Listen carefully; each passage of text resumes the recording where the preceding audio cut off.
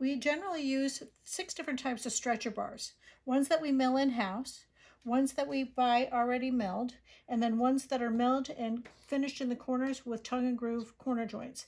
These you can find at most art stores. For giclée stretching, we generally use number one, number three, or number five. And for stretching canvases that will be painted on, we generally use number two, number four, or number six, with the more heavier duty bars uh, being used for bigger and heavier projects. It is important to measure the face of the giclée, mirror line to mirror line, and deduct a half inch to make sure that the mirror line will end up on the outer edges of the stretcher bar frame and not the face.